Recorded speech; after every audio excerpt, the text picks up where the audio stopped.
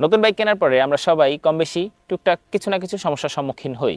আমাদের জীবনের যাদের প্রথম বাইক অথবা আমরা যারা প্রথম বাইক কিনেছি, তাদের কাছে এই সমস্যাটা আরও অনেক বেশি প্রকট হয়ে ওঠে।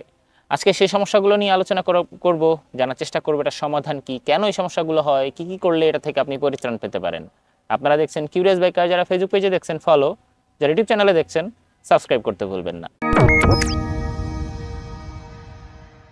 নতুন বাইকের প্রথম যে সমস্যাটার মধ্যে আমরা পড়ি সেটা হচ্ছে মাইলেজ ইস্যু কোম্পানি কর্তৃক দেখানো যে মাইলেজটা রয়েছে সেটা দেখে আমরা বাইকটা কিনেছি। কিন্তু বাইকটা যখন আমরা রাস্তায় চালাচ্ছি, আমরা কিন্তু ওই মাইলেজটা পাচ্ছি না। এটার একটা কারণ হচ্ছে ব্রেকিং পিরিয়ড কারণ শুরুর দিকে ইঞ্জিনটা বাইকের সাথে অ্যাডজাস্ট হতে এবং আপনার চালানোর ধরনের সাথে ইঞ্জিনটা অ্যাডজাস্ট হতে একটু সময় লাগে, যার কারণে মাইলেজটাও একটু কম পাওয়া যায়।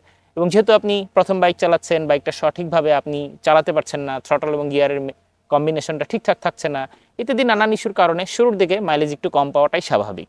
এরপরে প্রধান যে সমস্যাটা হয়, সেটা হচ্ছে ইঞ্জিন ওভারহিটিং প্রবলেম এটা খুব সাধারণ একটা সমস্যা এবং এটা চালানোর পরে, কিছুদিন চালানোর পরেই এই সমস্যাটার সমাধান আপনা আপনি হয়ে যায়। এটা নিয়ে টেনশন করার কিছু নেই।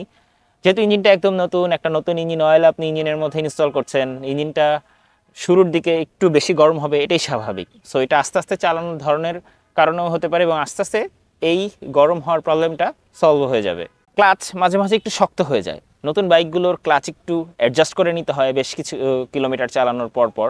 সো স্বাভাবিকভাবে মোটামুটি পনেরোশো থেকে দুই হাজার কিলোমিটার চালানোর পর পর বাইকের ক্লাচ অ্যাডজাস্ট করতে হয়।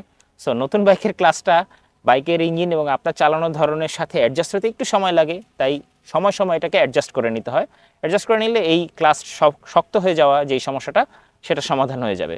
একটা নতুন বাইক কেনার পরে এটার কিছু সমস্যা হতেই পারে। সমস্যা হলে ঘাবড়িয়ে যাওয়া যাবে না।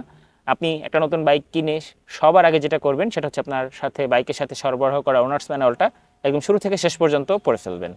শুরু থেকে শেষ পর্যন্ত ওনার্স ম্যানুয়ালটা পড়ে ফেললে বাইকের সমস্যা হওয়া মানে নতুন বাইকে যে সমস্যা সমস্যা হয়ে থাকে, এই সমস্যাগুলোর সেভেন্টি ফাইভ পার্সেন্ট সমস্যার সমাধান আপনি নিজেই করতে পারবেন এবং আপনি জানেন কেন এই সমস্যাটা হচ্ছে, কি করলে এটা সমাধান হবে। এরপরে যদি না হয়, সেক্ষেত্রে আপনার বাইক যে কোম্পানি থেকে কিনেছেন, সেই কোম্পানির অথরাইজ সার্ভিস পয়েন্টে বাইকটাকে নিয়ে চলে যাবেন। আশা করছি আপনার সমস্যার সমাধান হবে। বাইক নিয়ে আপনার যদি আরও কোনো প্রশ্ন থাকে অথবা আপনার কিছু জানা থাকে, সেক্ষেত্রে এটার কমেন্ট সেকশন অথবা আমাদের মেসেজ সেকশন সবসময় খোলা রয়েছে আপনাদের জন্য।